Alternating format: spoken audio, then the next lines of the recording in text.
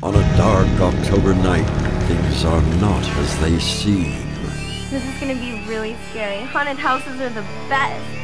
Nah, it's probably not scary at all. Nothing scares me. Of course. The almighty protector. Nightmare Station Scare. It's the most terrifying haunted house you'll ever experience. There's not even anybody here. This stinks. Hello? You have been warned. You are not alone! I'm right here with you. Don't turn around!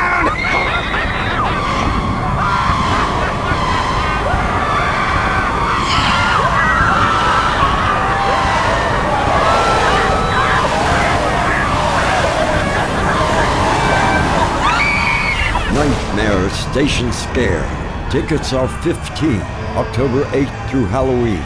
Every Thursday through Sunday starting at 7 p.m. The Amphitheater at Station Scare.